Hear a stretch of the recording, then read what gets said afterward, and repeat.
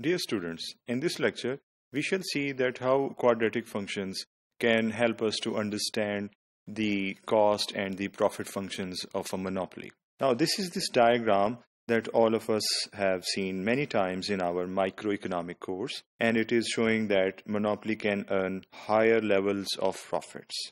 As you can see that uh, there is that uh, flavor of parabola in it. For example, you can see this is a parabola, and that is also showing a trend of a parabola. So we are dealing with the quadratic functions in this process. Let's take a numerical example of this situation. Now you can see that the cost function is in a parabolic form or to say in better and more suitable words, it's a quadratic equation, whereas the price is a linear equation. All of us should remember that profit is basically the difference of the revenue and cost and revenue in turn is the product of price and the quantity. So what we need to do is to calculate revenue here and we have done that in this step where the value of price is multiplied with Q. And the value of cost is already given which we have substituted in this formula. So P into Q minus C is what we have done the simple substitution in order to get a consolidated form of the profit function. After simplification, we have obtained this form of uh, quadratic profit function, which is actually due to the quadratic cost function that we have used in the process.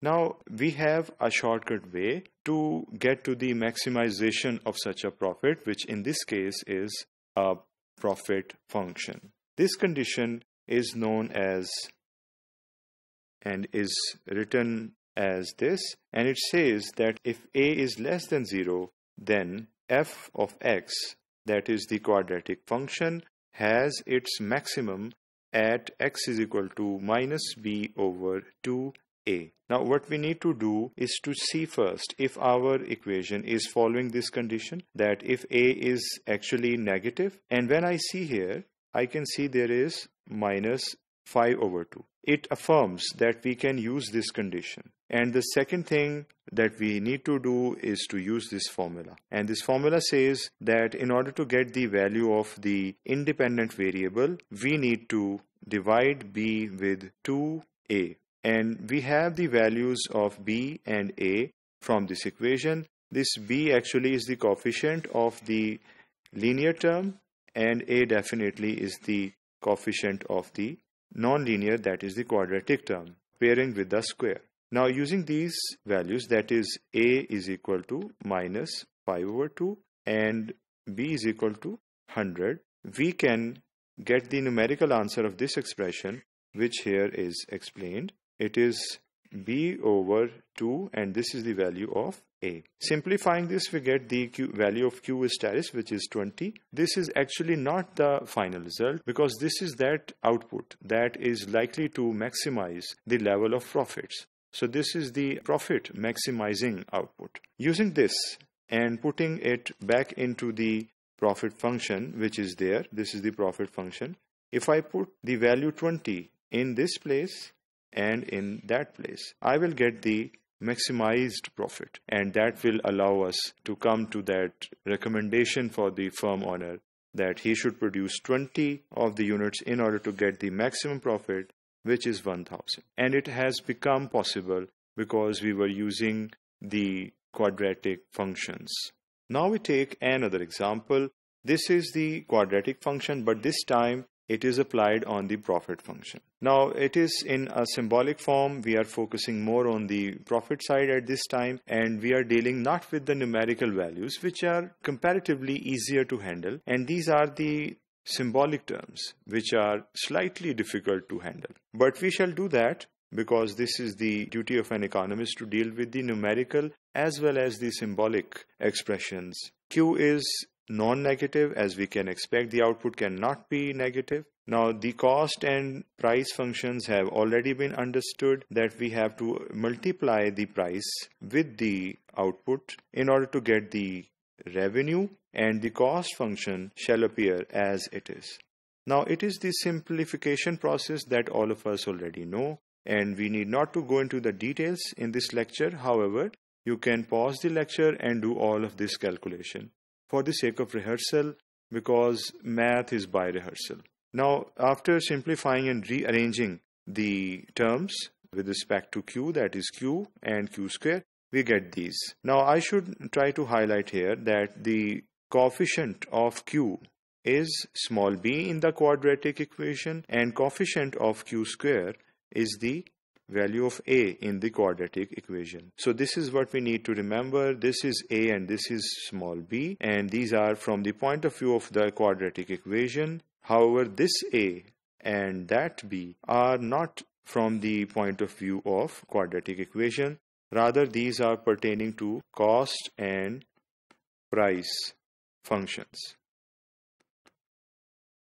So after understanding this difference, we are coming towards the maximization and we remember that the maximization considers this condition where a should be less than 0. Now looking towards this a, it is b plus beta and with this assumption that it is negative because it is appearing with this negative sign, we can say that maximization can be achieved by using this expression that we just used in the last example. Now we are putting the values into this expression. Now this b is equal to LA minus alpha. So you see b is appearing as a minus alpha and 2 is as it is whereas the value of small a is here which is b plus beta. We have written it b plus beta. Now this is the output that is likely to maximize the profit definitely it is the target that we need to produce but actually the target is to maximize the profit for owner. That is why we need to inform him about the maximized profit as well. And you can see that this is the value after putting the qm into that profit function which is up there. This is that profit function in which we shall put this qm and we shall get this final expression. Now you can pause the video and you can do this rehearsal of calculating this and simplifying it to this form which is the most suitable form. And in this way we have dealt with a symbolic situation in which numerics are not involved and the profit function is in a quadratic form.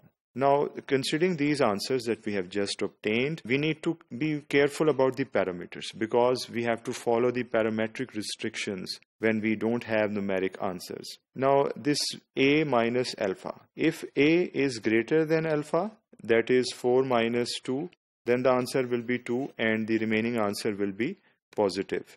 So there will be some positive output. But what if a and alpha they are equal. That is 2 minus 2 it will become 0 and once we have 0 in the numerator the whole answer will become 0 in this case as well as in this case the output as well as will be equal to 0 if alpha is equal to or we should say a is equal to alpha or alpha is less than or a is less than alpha because that is yet another case the third case. Because in this case we saw that the profit is zero because the output is zero. But what if a is less than alpha? This value might not give us a positive answer and once we don't have any positive answer it will be a problem for us and it will not be anything meaningful from the economic point of view. Now let us see the diagram in order to understand it well. This is a normal situation where a minus alpha is positive and we are getting a function of profit which is in its standard form. And the profit maximizing output is also there. Now what if it is happening that the output is zero and profit is zero? This line is actually showing that situation where both of the variables at the origin are zero. That is the output as well as the profit. So this is an undesired situation this parametric restriction is what we need to remember. This is a desirable situation for having a positive profit as well as an output which is not zero.